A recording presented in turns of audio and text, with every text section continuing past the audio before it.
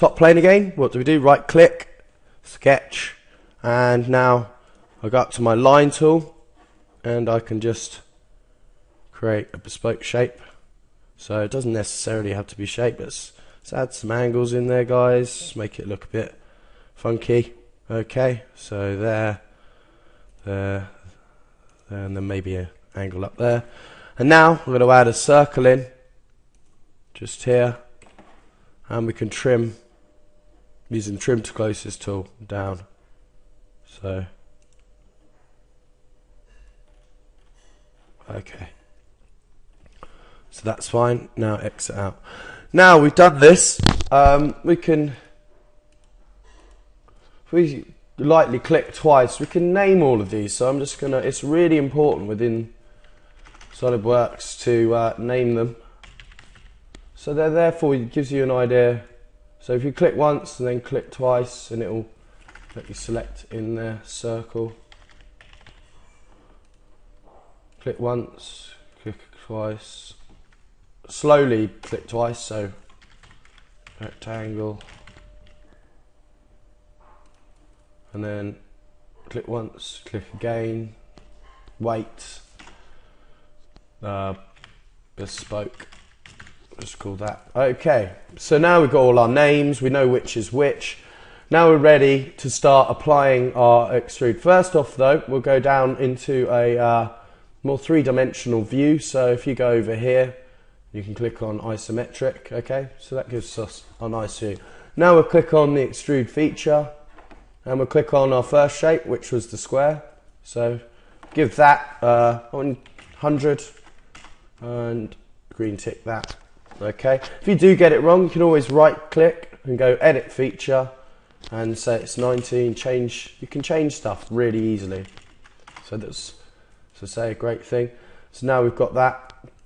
Okay, and we'll do the same for all of these. So we can go a bit quicker. Extrude. Click on the rectangle.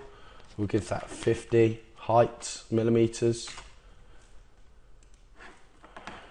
Then we go extrude feature again, circle, um, circles, let's say 80.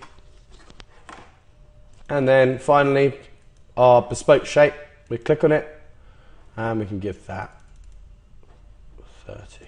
Okay, so there we go. There's all of our shapes now in our history tree. Uh, we can roll back, for instance, now just to work on that. Or we can, we can enter any of these shapes now. So if, if I've got that wrong, I can change the shape. I can go back into it, right click and change the size. So say the circles, I want that to actually be 100. Um, right click and go 100. So you can change stuff straight away. It's really easy and nice to use. Okay guys, so that um, concludes our first lesson on um, shapes and extrusion, the extrusion feature within uh, SolidWorks. Okay.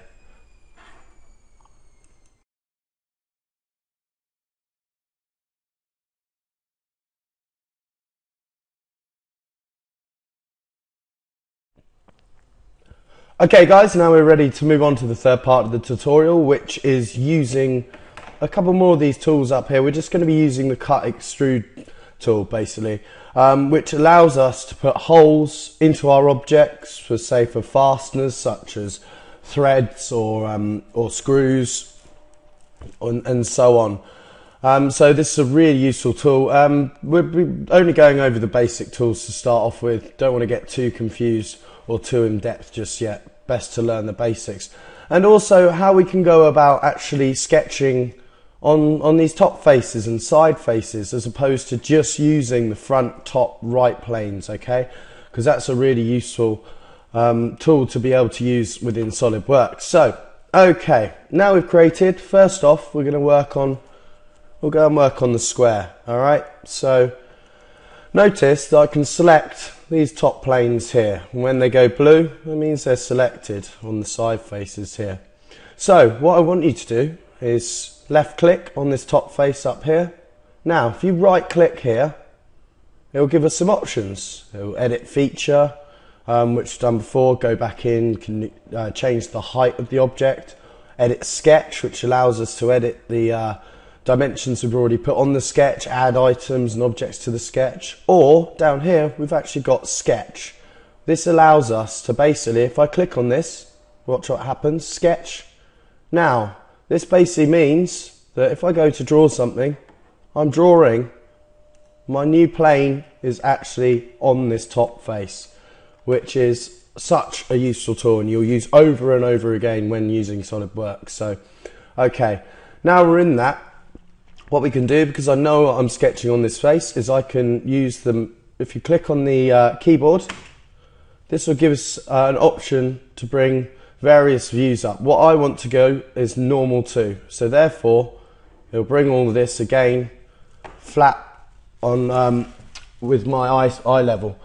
So therefore, now it's easy to see where I'm locating my 2D sketch object. So all we want to do is we want to use create a circle that's dead on center. Okay, so I can I know the dimensions of that. So the first way to do this is actually just draw a circle.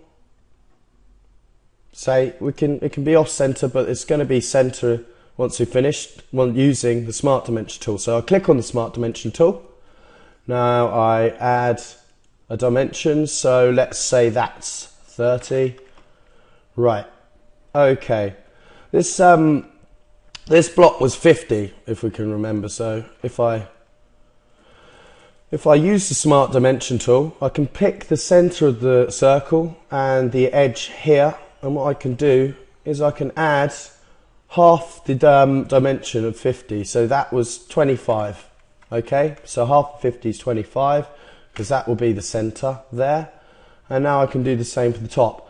Another neat little trick within SolidWorks is you can actually use in this toolbar here, it can be a calculator. So if I use the tool, say 50, I know that's 50, but divide by 2, okay? So this little icon here means divide. If you put 50 divide by 2, it'll actually do the sum for you. So that's such a nice little tool to use. Okay, now that's done.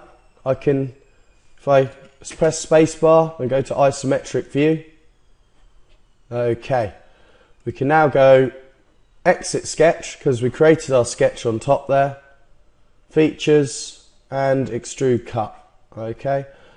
Right so we can add dimensions to this. Uh, we can select from here as well through all which means it will go through all. I don't want to do that I want to use the blind feature which allows me to actually add a certain dimension to it. So we'll say from the top we'll say 50 okay now if I go and look at that that means that my block now has got a dimension of 50 down. So we've got a hole that's now been cut in our object that's 50. Okay. So, right, now let's go and now let's draw. I want you to go to our rectangle and we're going to create a hole through the side of this. So, as the same as before, we click on the front here, we right click, we go sketch, not edit sketch, but sketch. And if we click normal to we can see that actually wait a minute this shape's in the way. I want a nice clearer view of that. So what I can do is I can highlight this which is boss extrude 4 right click on it and go hide. And that will hide that to get, get it back all I do is click on the glasses and click show and that will get that back so if I click on there hide now we can add um, now we can use the corner rectangle tool. We're to actually now use the offset tool. So this tool, and we're to select a dimension of 10, uh, 5, and just see what happens now. Look, if I select that, actually we can create a line without having to draw anything that's off of a line. So if we go reverse direction, and then I start selecting all the lines around here and these are all now going to be five millimeters off um, so these tools up here if it was the wrong direction once you've selected all of the lines that are around click reverse that will go move inside uh, bidirectional means where you'll get um, both sides which you don't want to use so for now all we need is five and reverse and then this will create a nice even box around the inside. So I can green tick that now. And there we have our dimension. So watch what happens. If I double click on this dimension that's been created and choose 7, then everything will move. It's a really useful tool that you can be used over and over again. So that's been created. I can green tick that. Okay. Just press space or use your uh, keyboard. Exit sketch. Extrude. Cut. Right, remember if I haven't had it selected and go to extrude cut, it'll ask me to uh, select the sketch so you can actually click on it within the drawing window and if I click on through all, oh, that will still, through all mean it will go through there but we want up to next. If you click on that then it will just go up to the next thing and create a hole through our box now. Cool. Okay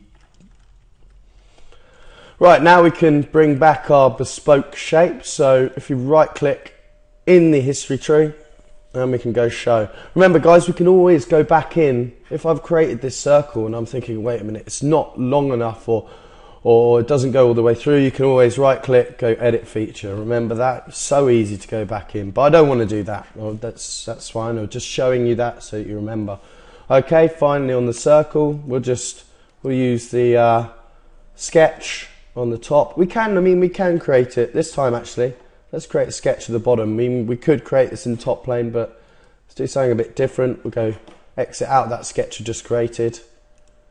Right click, sketch, and we use the offset tool again to offset that, let's say 10 mil, and put the reverse direction, green tick that, go exit, same as before, extrude cut, and we'll go through all on this one.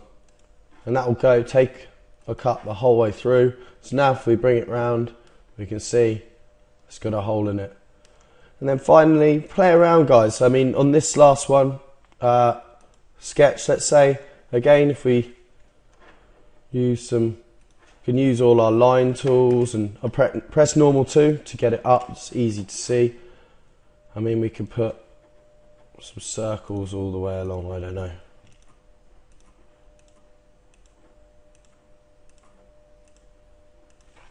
Okay, click spacebar, isometric view so we can see it.